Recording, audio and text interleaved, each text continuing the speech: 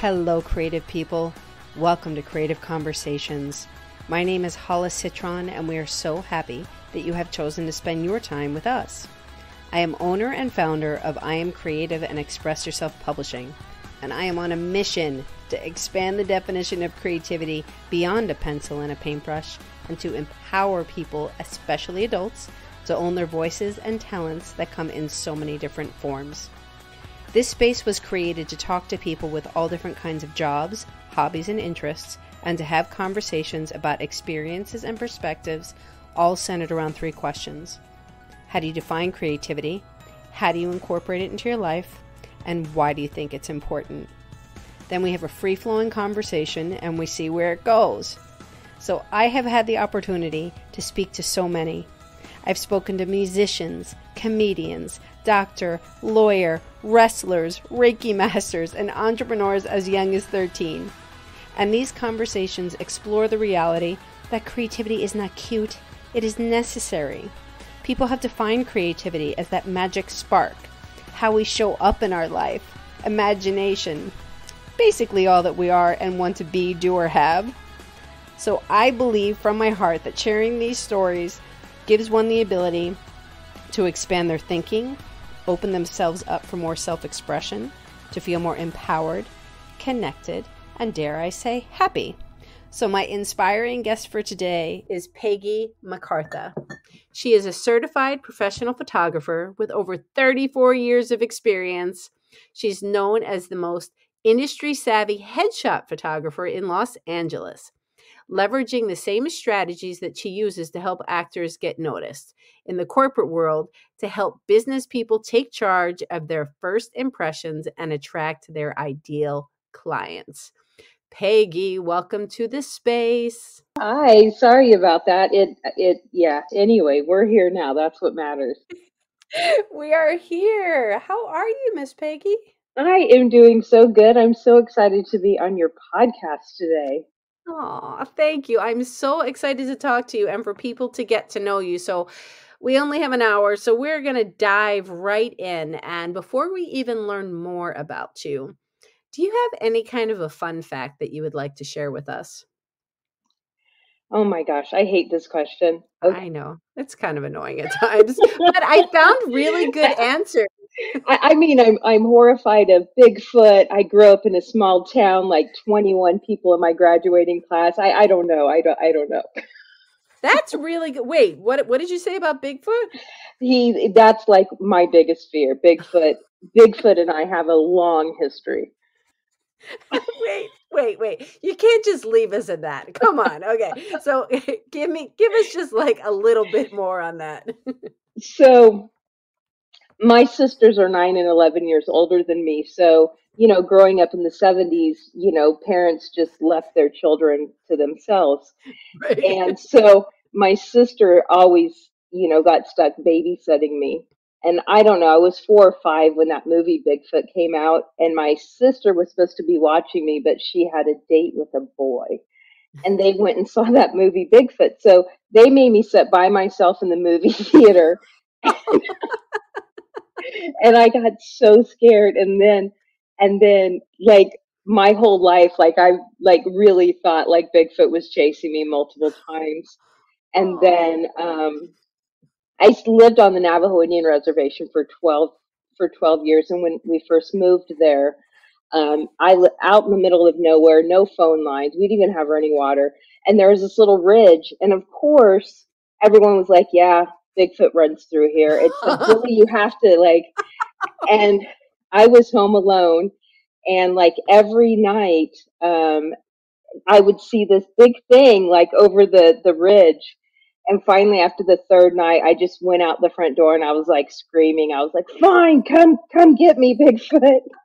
and it was this big brown fuzzy dog. Um, so, but yeah, it's, it's a real thing. My family teases me, uh, about Bigfoot all the time. Um, but yeah, I, I, do have a, a probably irrational fear of Bigfoot. It's well, wait. Okay, and then we're gonna move on. How old were you when she took you to see this movie? Like four or five. Okay, but it so, like I, am yeah. much older than that now, and I still like you know I don't go into foresty areas because yeah. I feel like a bear is not going to bother me, but Bigfoot may actually come and attack me. So, but those are the formative years. Those are the things when things really get sunk in, whether it's right? rational or not. I completely understand. I admit, everybody, I still run up the steps from the basement. and I am 55 years old. Like, right. I still like, yeah, because I was always freaked out by the basement. I would hear things, see things, da da da. And yeah, I still I still run up the steps. so funny. so everybody, what's your what's your fear? so okay, we're gonna dive right in, and I want to welcome those here with us live. Thank you so much for being here. Please, any questions or comments, please feel free to put them in the chat box so you can be part of the conversation. Okay, so Miss Peggy, first official question is How do you define creativity? So, when you told me that was going to be a question you asked me, I I really like thought, how do you define like on the surface that seems like such an easy uh, question because I mean, I feel like I'm a creative person, right? I, I'm a photographer. My whole life I've been creative, but I really, I, I really spent some time on this, and mm. and I'm going to say that the way that our brains connect things, the way they've never been connected before, um, or differently than they've ever connected before, is really what creativity is. It's kind of our perception of how we see the world it's it's kind of the process of creating the you know creativity i think could be defined that way. Mm, i love that. I love that. The way our brains connect things differently than ever than they ever did before and it's our perception. Yeah i think that i mean i'm a color nerd you know like color fascinates me. And one of the things I learned years and years ago is that everyone sees color differently. Like what I perceive as blue, your brain may perceive it differently, but it's blue to you, but we may not be seeing the same thing. Mm-hmm. And I just think that's crazy um, when you when you think about the world that everybody kind of sees everything a little bit differently. Well, isn't that what's amazing? I mean, when you really take time to think about it, and just not even think just be aware of it is is that eh, you know it's based off like you said the word perception. So it's our perspective. This is why when things happen and they ask people well what did you see? and what happened people see different things. Yeah. Because we're connected with different stories we perceive things in different ways we pick up on certain cues or things that have more meaning to us or whatever. So it's not just this non-personal thing of what you're seeing but i love that you also said this too because being a photographer it's like our eyes being our lens.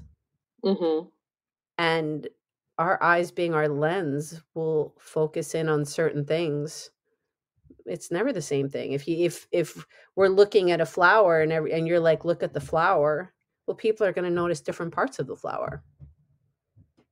Yeah exactly exactly. What is it about the flower that you notice versus what is it that that i notice? Mm-hmm. and I, I appreciate you bringing in that idea of color. That is that's a really cool fact actually. It'll drive you nuts when you like spend too much time thinking on it but um but yeah i go down that color rabbit because you know i'm i'm very colors have emotions and how you you know how you feel with different colors. I'm always, you know, nerding out on things like that. no, but I think it's really interesting. I did a um an activity when I was teaching art in the classroom. I um one of the activities I did in elementary school, you could really do it with any age, but uh, we were talking about emotion and color.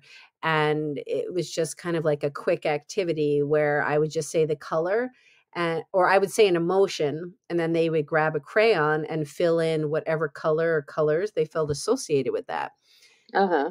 So it's just interesting to see what people pick. Certain right. things there's a commonality, but other things there isn't. Like black isn't always a sad color. And red isn't always love. red could be anger, red could be love. Like it's, you know, it's pretty pretty opposites. Yeah. Yeah. So it's really like our stories and our perceptions. It's like, you know, I think that's going to be like a common theme throughout things. It's it's just really interesting to see. And people with the kids got really engaged with that and it was just cool for me to see from an outsider to be like, "Oh, okay. So we're going to go probably in this told way." you a lot about probably told you a lot about them and how they they identify as a human too. It does. It does. It it really kind of in a very quick glance kind of helps reinforce or kind of see their stories Uh-huh. a little bit and it can be very telling where in the in the sense of like a deeper conversation. Oh, really? You know, red is uh, happy. I love that that you see red is happy. Do, do you wear red or, you know, some kind of deeper conversation? And um, it'd just be really interesting the things that you could find out Yeah, without asking those questions, you know? That is interesting. I always think that I have this thing that I think that colors pick us. We don't pick our favorite colors. I think that you know, when we were small, we saw a color and it made us feel a specific way, and that's why we're drawn to. You know, that's how why we have favorite colors.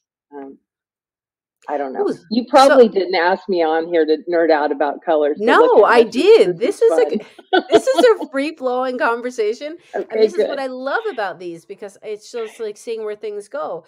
So interesting. So you're saying that this is something that we relate to in childhood, and then we kind of carry it through.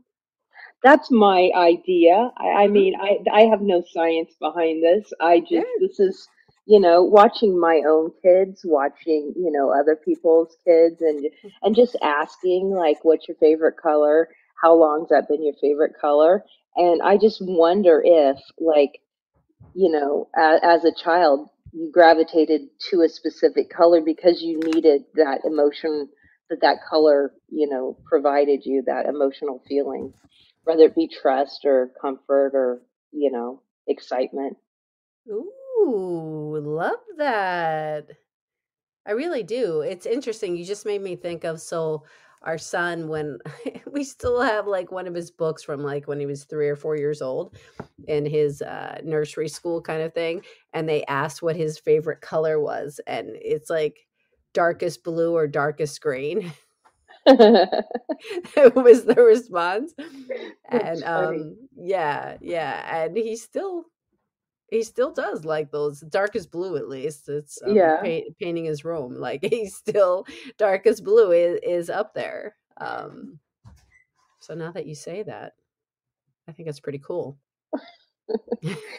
somebody should study this this is just my uh my uh non-scientific uh ideas well, it doesn't have to be based in science. Um okay, so I want to hear more about you, Miss Peggy. So I called this photographer who encourages, inspires, and educates. But if you could kind of take us on a journey wherever you want to start in this, um, about who you are and um, how you got to where where you are. I know it's kind of a broad question, but that's a that's a really broad question Um, I, I've been living for many, many years. So I got my first camera when I was nine years old for Christmas. Uh, my sister's husband gave me a camera, and I just fell in love with it. Um, my sister and my uncles did a lot of photography, and I, I loved looking at pictures. My parents had um, National Geographics. They had like all the the National Geographics in order and the in the bookshelf downstairs. And I hmm would sit and you know, again, I grew up in a really small town, didn't really have any culture or a lot of exposure to a lot of diversity. So I think I just would get lost in looking at the people and the animals and the landscapes and just was always really drawn to that and I love taking pictures of people. Like as the second I got my camera, I loved photographing people. When I hmm was 12, I um, saved up my babysitting money and my yard mowing money, and I bought my first 35 millimeter camera. Wow. And I drug that around with me everywhere with a notebook.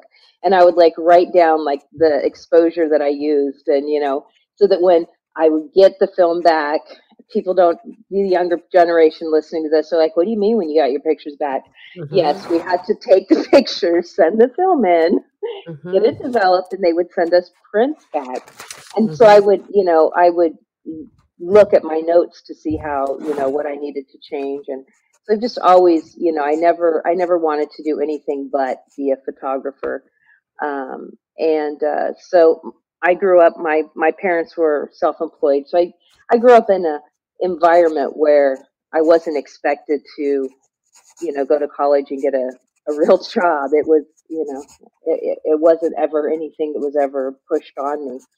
Mm-hmm. Um, so I, I, I was able to do that. And uh, right after high school, I interned with a, a really high end wedding photographer.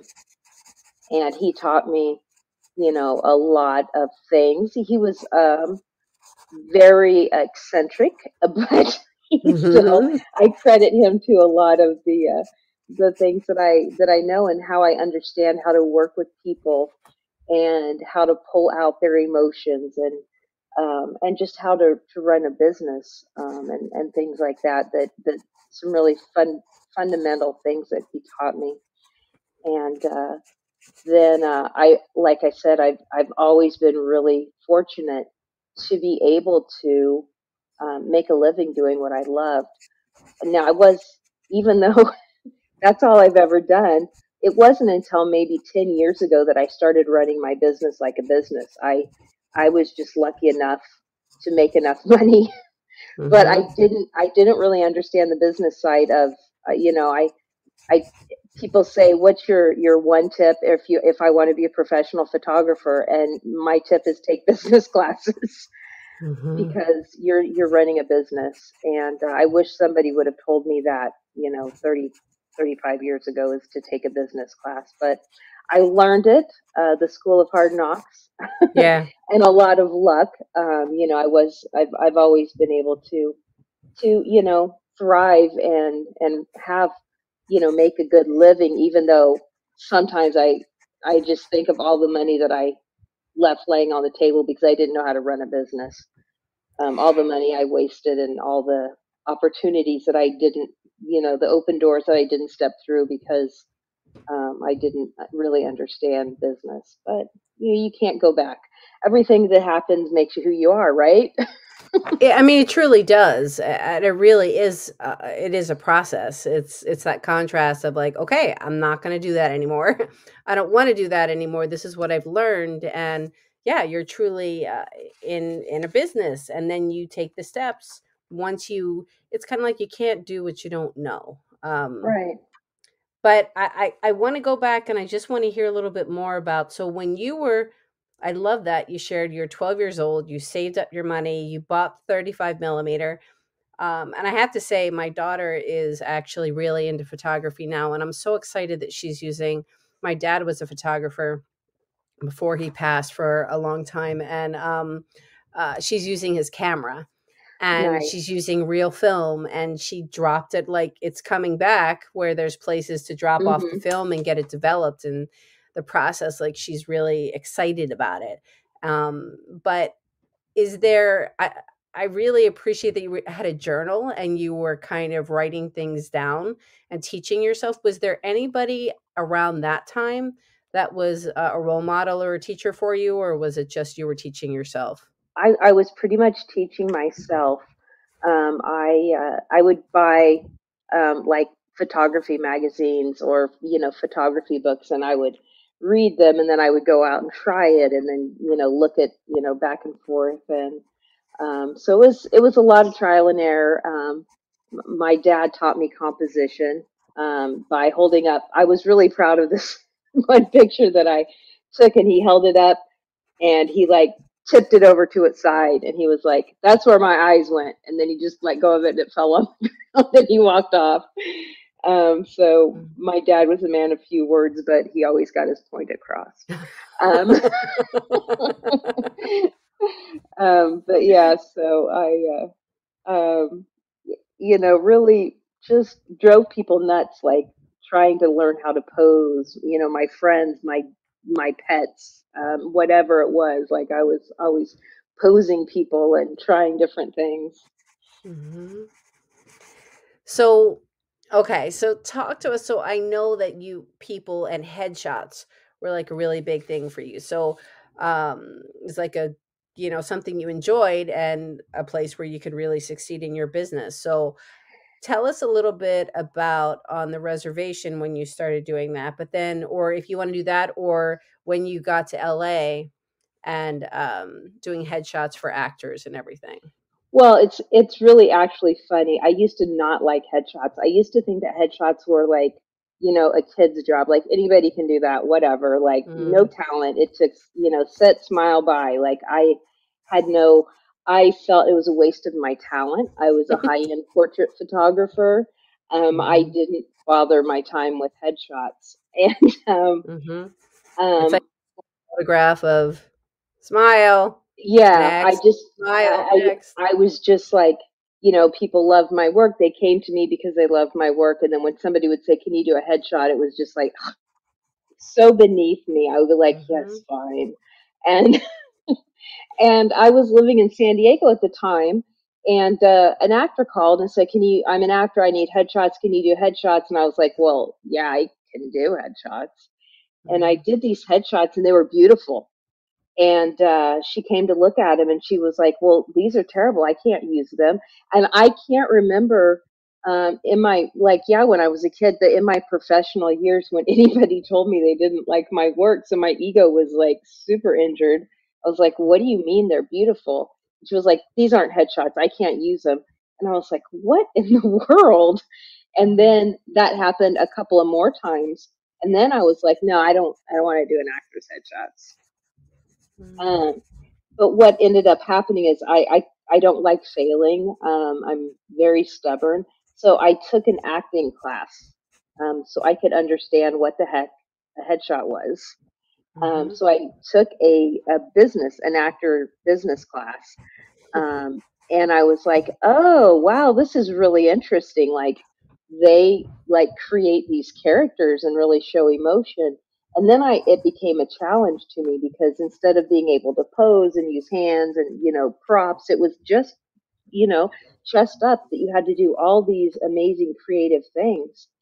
And uh, so I spent seven years interviewing casting directors, working actors, acting coaches. I had a podcast. That's all I did was talk for seven years, um, and really defining you know what made a headshot pop, what made a headshot effective Mm-hmm. And we would have actors come in, and I, I use this as an example because it's it's it's it's easy. You know, an actor would come in and like I I want I want to audition for an attorney. So we would go through like what kind of an attorney. Um, are you a badass attorney? Or are you the guy that's like tripping over your briefcase on the way into court? Like, you know, what did you have for breakfast? How did that feel? You know, we really dive into all these emotions and get these great headshots. And then I would have an actual attorney come in and be like, cheese. And I was like, something's not adding up here. Mm-hmm. And I was like, the corporate, you know, we live in a digital di- driven world.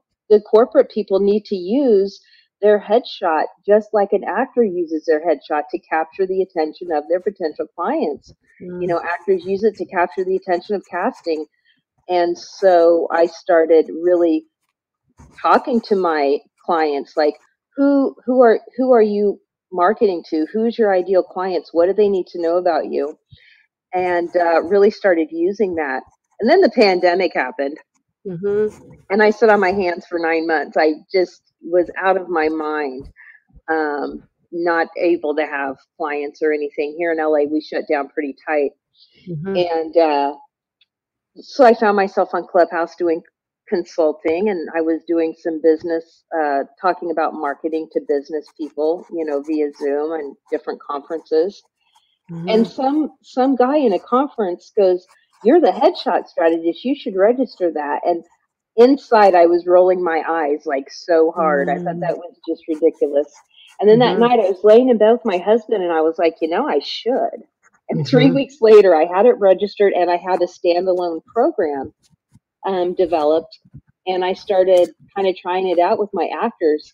I would get on Zoom with them and go through this whole thing before they came into the studio. Normally, I would just do it as they were there, and they would come into the studio like prepared, ready to go, and the headshots were just on the next level. It was I was like, wow. It made me look better, but just because they were so prepared. And so I was like, all right. So I kind of tweaked it and made it for for corporate people and my entrepreneurs. And uh, so then uh, that kind of just people found out I was doing it, people started calling me from all over the world um, to go through my headshot strategy program. And then they were like, and I was telling them now find a local photographer. This is what you need to tell them, and you know, um, but people were saying, "Can you recommend a photographer? Can you recommend a photographer?" And I was like, "No, I don't, I don't know any photographers." Mm-hmm. So I thought, well, I'll do like a two-hour webinar or something, and I'll teach photographers this. And then I thought, no, if I'm going to do this, I'm going to do it all the way. I'm going to teach photographers how to not only help their clients, but to help them learn how to market themselves and run their business like a business. So my little two hour webinar turned into a 26 course certification program. so I, I don't know how to do things small.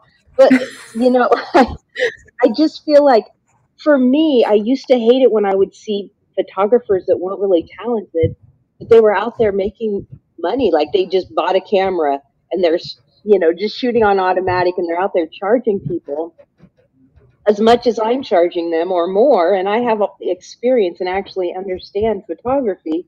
And it used to just drive me crazy. I was like, why are people paying? Well, because they know business and they know marketing. Yeah. So my goal is to help those photographers that are so talented at what they do, but they just aren't able to get the clients that they need. They just aren't able to run the business. So, in this teaching them how to run a profitable business and mm-hmm. also give them this headshot strategy um, that can set them apart from other photographers in their area and help them really understand how to, to because every photographer does a headshot like whether we want to or not. And all the things that you learn can be applied to any any kind of photography. So it's it's just because that guy called me the headshot strategist. That's why the program's named that. But it's oh my god there's so many questions i have. It's like um Okay, so um first when you called yourself a high-end photographer, um what does that mean? So what were you taking pictures of in being a high-end photographer? Mainly families. Um mm-hmm. I specialized in maternity and baby's first year and mm-hmm. families. Um, I also worked with people with disabilities. Um, that was another one of my specialties. Mm-hmm. Um, and and that's pretty much what I did every day, all day long. I used to shoot five days a week for about eight to ten hours a day. Um, I. I kept really busy, and I had um, a very good clientele base that really I didn't have to market myself because it was so busy with word of mouth. Yeah, uh, and uh, thankfully, because uh, like I said, I, I didn't really understand business. yeah.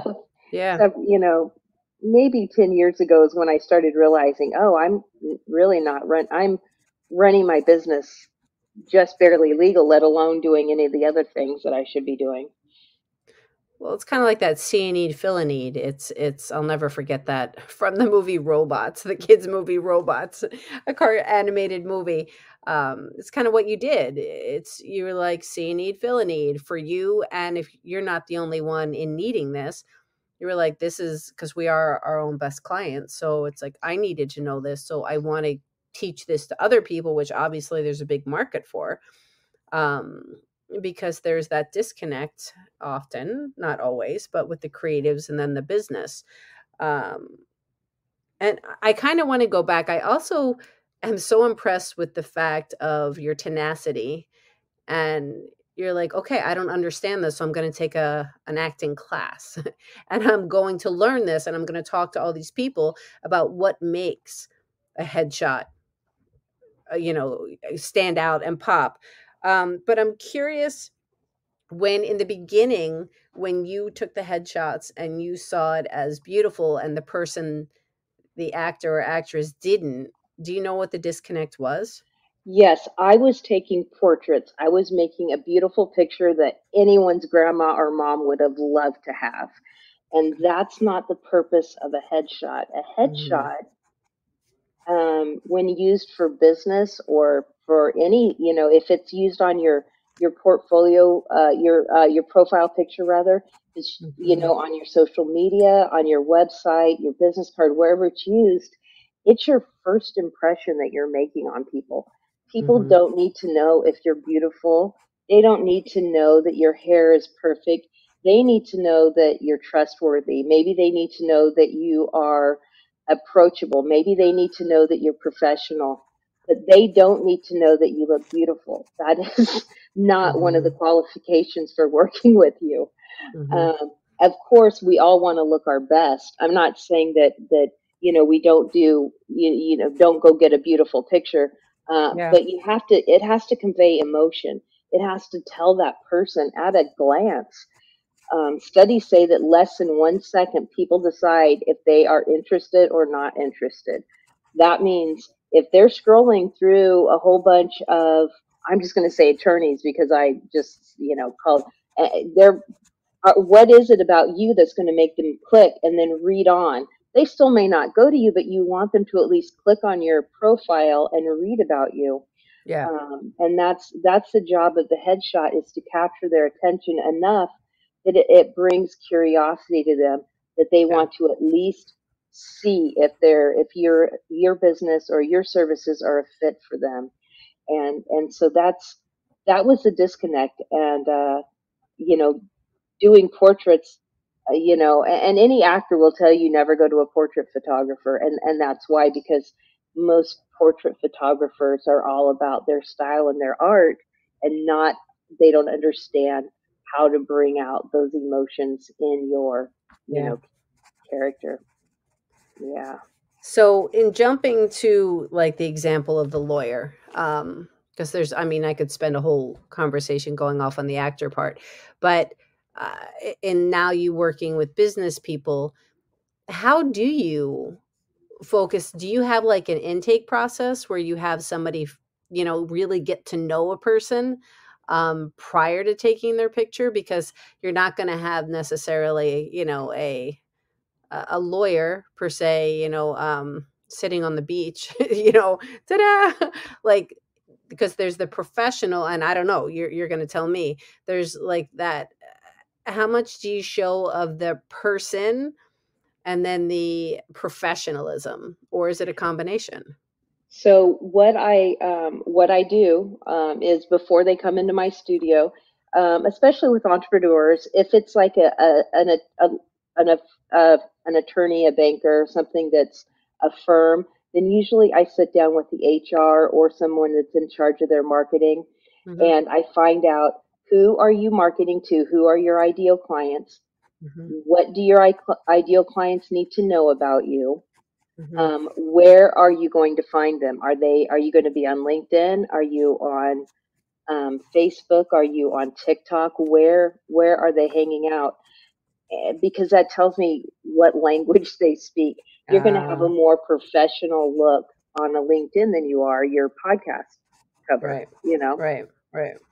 so, and then we talk about what do they need to know about you? What's the most important things that they need to know about you right away? Is it that you're knowledgeable? Is that their most important thing? Is their most important thing that you're trustworthy? Is their Mhm. most important thing that they can that you're approachable and that they can come to you and like, hey, I'm a mess. I need your help. Like what what is it that your your clients need to know about you? And then we talk about what you know what what colors are your branding colors and why? And what other colors can we incorporate into that to give them these feelings?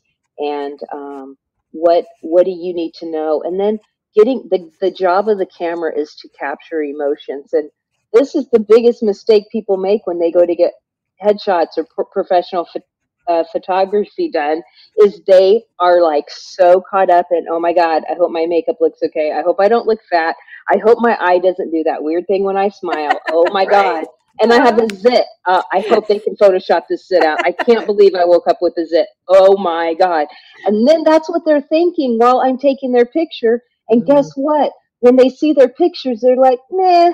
Why? Because that picture gives off a sense of insecurity because they were insecure. So what I do is I talk my clients up. Like we're they're in front of the camera and I'm like, you're a badass. Like, how does that feel when you close that house? How does that feel when you sign that deal? How does that, you know, and, mm-hmm. and get them excited so they forget about, you know, their nose or whatever thing that we all have that thing we're self conscious about, right?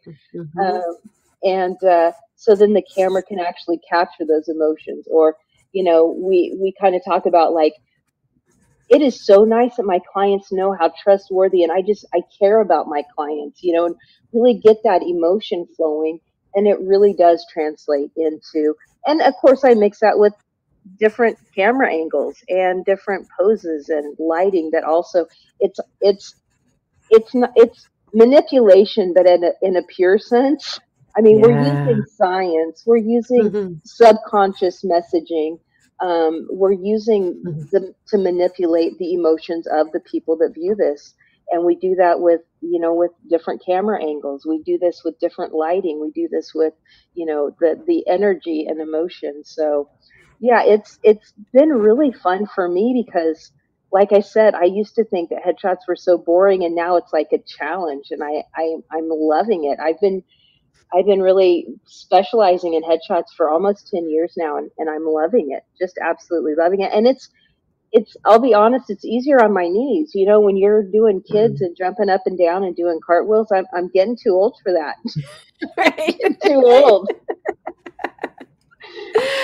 you said and I was going to say like everything that you're saying, I'm just on this end smiling because everything you're talking about sounds like you're talking about energy and like vibration Mm-hmm. It's, you know, you put it out and this is the energy that's put out and it's something like electricity uh, until it shows up in a light actually going on you can kind of feel it you, you kind of are trusting that it's there until the light goes on it's kind of like getting the photograph yeah when a person's feeling a certain way and then all of a sudden the person's like oh i don't know i, I don't like it for a certain reason because you were feeling crappy mm-hmm. when when you took it like you like you weren't in a good headspace yourself and when you said in the beginning using your words like i nerd out about colors i think it's incredible because all of this is part of what you do. It's like your your talents and everything that you look at and take into consideration and realize that it's all important.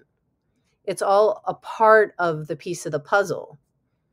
That's exactly and you know that's why so many people say oh i hate all my pictures but my friend took a picture of me at this party and i love that picture well that's because you were having fun at the party you weren't mm-hmm. worried about your hair or your nose or your eye you were you were having fun and it shows um, that's yeah. exactly exactly yeah you're not like standing there awkwardly like okay mm-hmm. hand on my hip or okay right? let's do this oh, let's try that again that's I, I wasn't let me get my hair it just went in my face. It's like oh my god it's like completely overthinking it all. Absolutely and i am the worst getting my pictures taken so i get it i get it. Oh my gosh okay so that's a really good segue into learning a little bit more about you and how you actually for you peggy incorporate more creativity into your own life. So i think that being creative gives me control over the outcome of my life um, because I feel like I can take charge of my the way the way I perceive things and I can be creative. Like if something looks really terrible happening in my life I have that's my responsibility. Do I fall apart or do I get creative and do I like, you know, make something out of this mess? Mm-hmm. So I think, um, I think being creative is all about getting up. I mean, if you think mm-hmm. about creative creation, you know, creation usually comes out of pain, right? Like when you give birth mm-hmm. to a baby, there's a lot of pain there. Mm-hmm. When you give birth to a project, you're an artist, you know, like there's that mm-hmm. moment where you're like, this is horrible. What am I? Oh my God, it's gorgeous, right? Yes. yeah. and and I think that's the magic of, you know, being creative is that we can take charge and i think everybody is creative whether whether it's in art or or if it's in business or if it's you know just in you know whatever areas i think i think human beings are creative people period mm-hmm. you know whether it's artistic or or not artistic i i think everyone is creative and out of that out of that pain you know we we birth this this beautiful thing and i think when we when we decide to be creative and create something with it, then we're we're allowed to make something beautiful out of our life. You know what I mean? So it's permission. Um, well, I call myself a creativity doula, and in that, it's exactly that. It's it's the birthing process of an idea and bringing something that didn't exist and now exists into the world. And it's that whole breaking it down into the stages of inception, which is hopefully fun in the right. sense that the idea drops in or the creation in whatever way it gets created. And then when the idea is in you, it's like, okay, well, now I'm nurturing it and I'm taking care of it. And then I'm kind of scared shitless because how am I going to actually get this out? There's a lot of discomfort, but excitement and nurturing and blah, blah, blah. And then it's time to, when the idea is being birthed, there, it can go a few different ways with the idea. It's you're going through a ton of constriction and expansion and all of this until it gets out. There can be a lot of discomfort and excitement. Uh, and then boom, it's out, and then you're nurturing it and growing it. Or you cut it off and say, no, that's too scary. Yeah. I can't do it. It doesn't feel good. And it stays in you, but it's still alive in you. even though you didn't get it out, it's still in you. And that's where, to me, it can cause a lot of um, frustration and anger. Right. That could, that can cause pain, right? Because you. Yeah, lots of it. It's yeah. I had I had a child that was three weeks late past their due date, so that's that's a Whew, three weeks. That was that's that's frustrating because you're like, hey, crap. I need this, I need this thing out of me. I need this. I, I I want to love this thing, but right now I just need it. I just need it out. Well, yeah, three weeks. That's a really that's like a really long time. It's a really long time. It's a really long time. She is 28 years old now, um, and I'm still bitter about it. I'm still harboring feelings about yep, all of this. I still am processing this. Uh, so then, no, really, I'm fine. I'm okay. Don't worry. I'm good. Only three extra weeks. It's almost a month. no big deal. You know all that I did for you. Um, well, tell us before the last question, but tell us a little bit more about things that actually interest you. We know photography and all of this. Um, what do you what do you enjoy doing for you where you can feel expressive? Does it have anything to do with music? Is it going for walks? Is it um, boxing and exercising? What are some things that you do for you for outlets to express besides photography?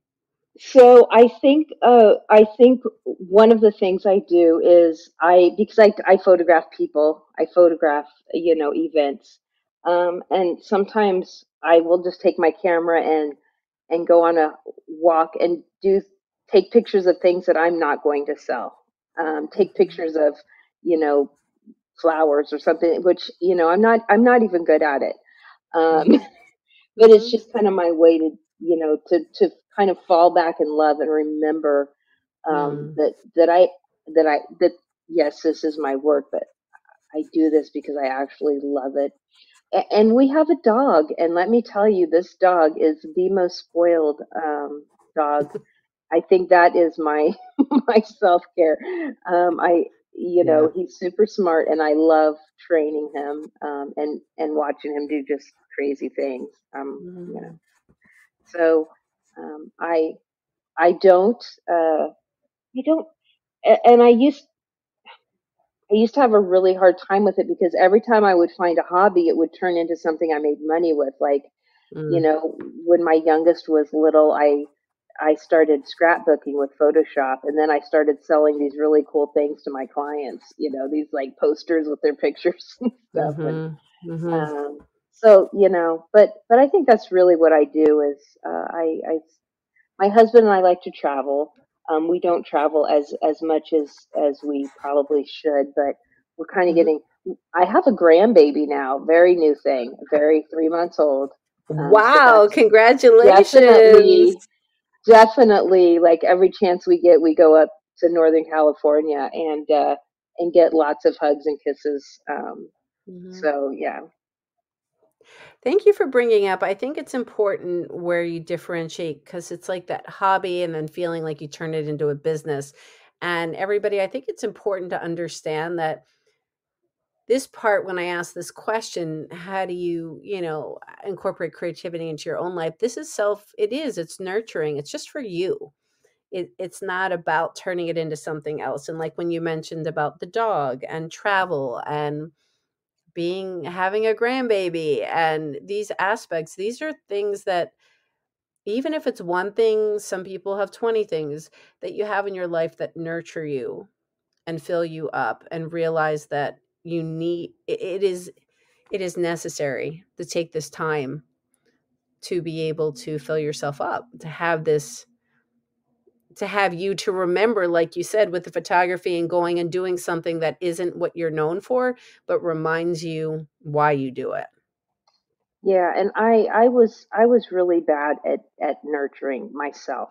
Um mm-hmm. that was an area that i've that i've you know really had to prioritize uh, the last few years.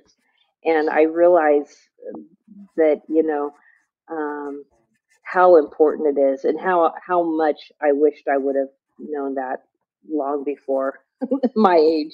I wish yeah. that was something I would have prioritized, you know, earlier on.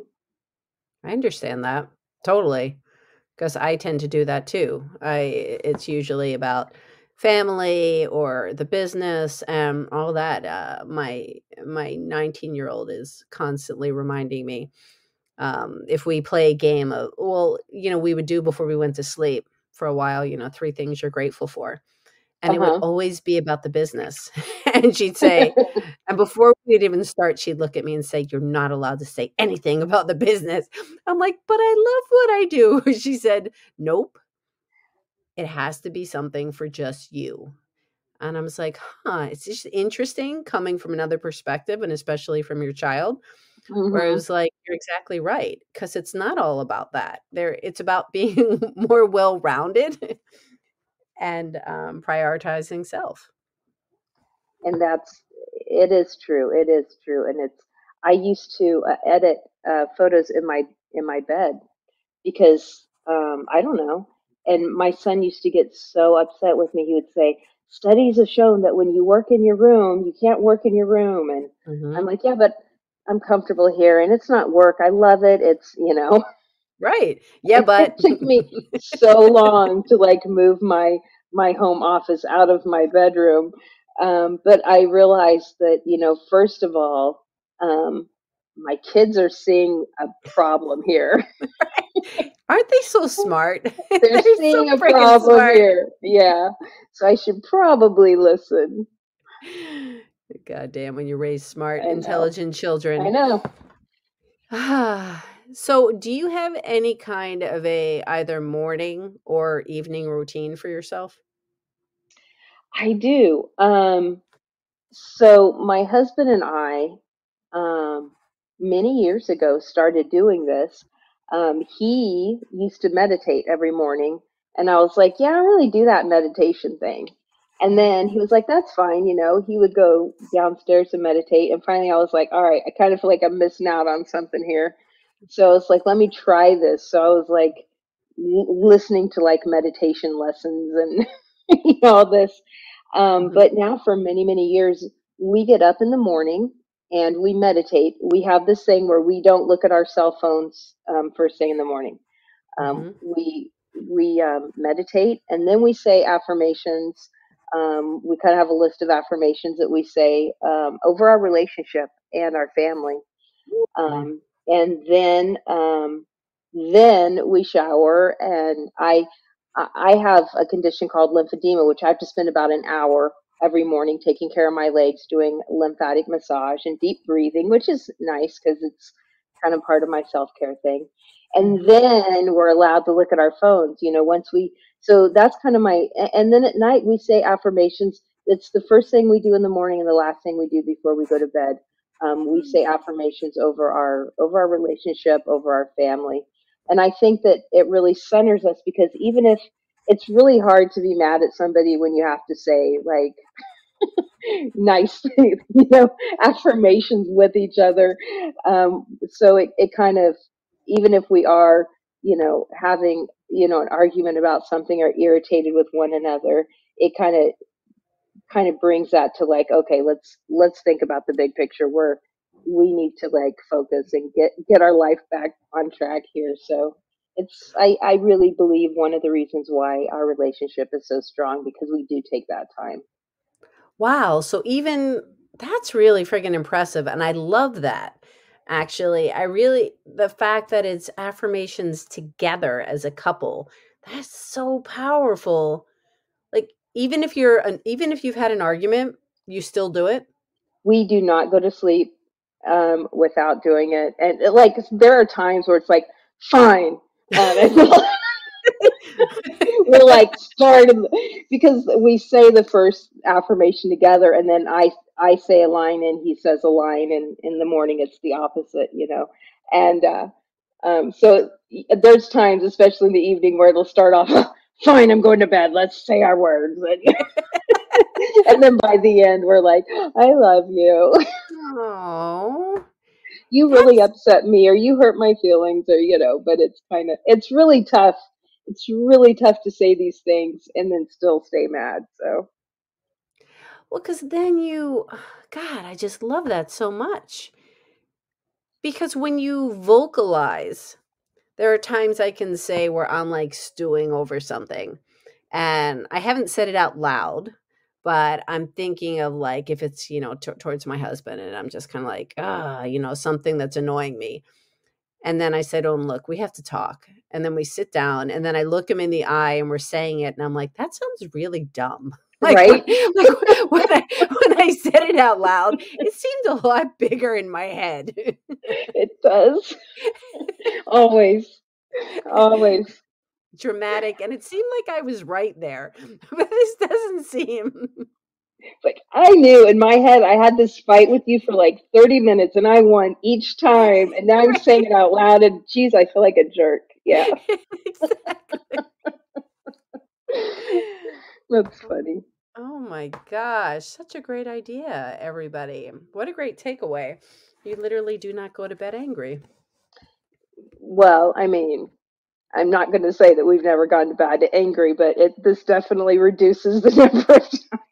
Well, yeah, and it's the attempt. It's kind of like it's not just getting into bed and just kind of turning right. your back and because like you said in many other things, it's it's the emotion that we carry. And it really is like eh, how we carry emotion um, in our lives in showing up in a photograph or just showing up in any way it's it takes a toll on our bodies. Um, it does. It does. It's, it's, like using our power for good. Exactly. I always say it's like use your power for good. And when there was one situation where um, I don't know if this has to completely do, but for some reason it just made me think of it. I dropped my daughter off at work and I pulled into um, this parking, this driveway just for a second. She jumped out of the car and then all of a sudden, my daughter's like, there's a whole bunch of cars backed up and they're honking. I'm like, well, it doesn't have to do with me. Whatever. I had the music on. And then I backed up and I'm like, oh my God, it's totally my fault. Like she wanted to she wanted to pull into the driveway and then uh-huh, apparently uh-huh, I was blocking. Yeah. Um so I pulled away and I just kind of waved, like, thank you, sorry. And I wasn't listening. I was listening to my music and kind of dancing along. And when I picked up our daughter later, she's like, oh my God, she was completely cursing you out. she's like, I was so angry at her because she was cursing you out. I'm like, whatever. Like, it was a second or yeah, a few seconds. It really, what's the big deal? But my daughter was so pissed so funny. oh and my that goes back to how you perceive things. Like in your world, it wasn't that big of a deal. In her world, it was like you. She probably carried that all day long. Like, why?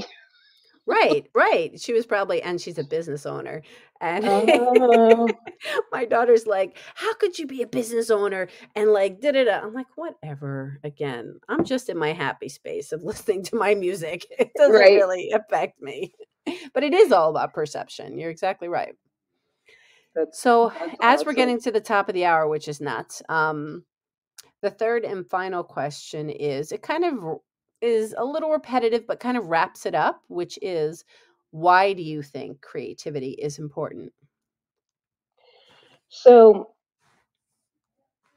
I'm dyslexic. We didn't mention this before. So the way my brain works, I sometimes connect things that that other people don't connect. And I don't know.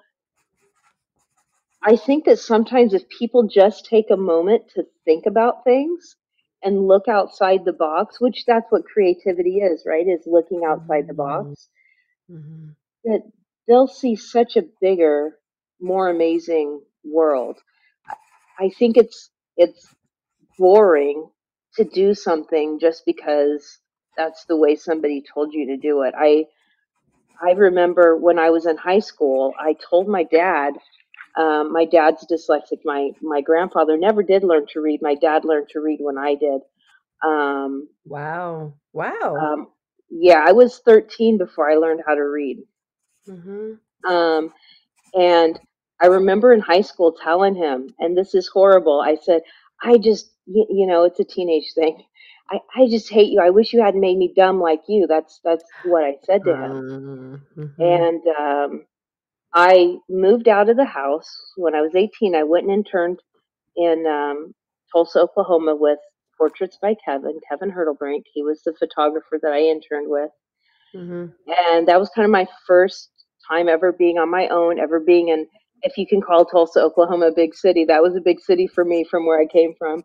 hmm And being in, you know, and I remember calling him just a few months later and saying, Dad, thank you for making me dumb like you. I don't know how I would survive in this world if I were one of those smart people. I don't know how they tie their own shoe in the morning. And and I think that's people get so caught up in knowing how it's done that they don't look to see how else it could be done.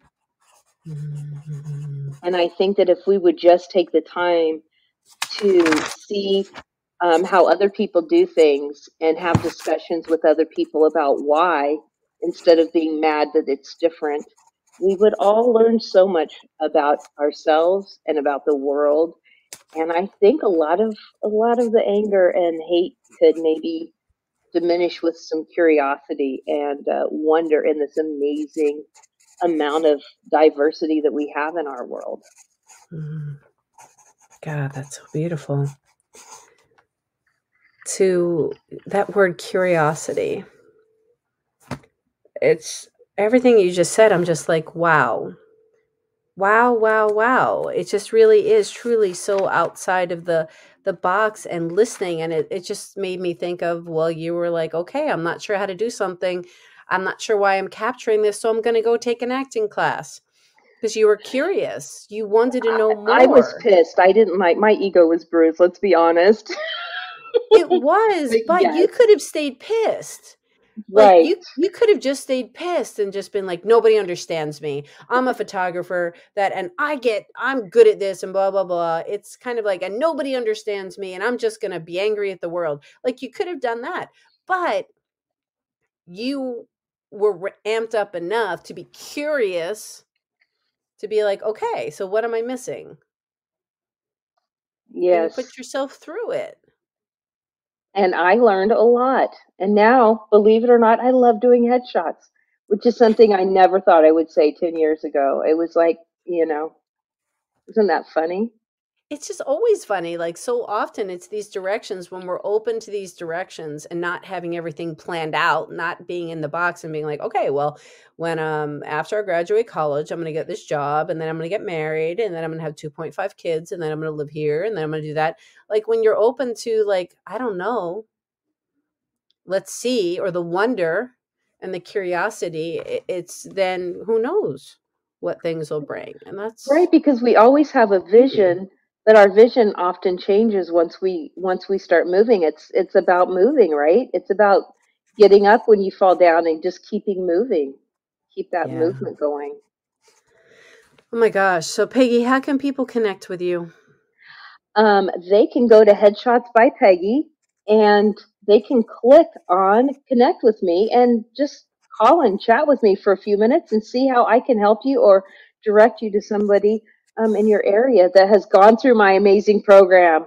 I'm mm-hmm. I'm I'm building a community of amazing photographers. Mm-hmm. We just launched, so it may be a minute before we get there, but we are on that road. I am so excited for you. Gosh, thank you so much. What were you going to say?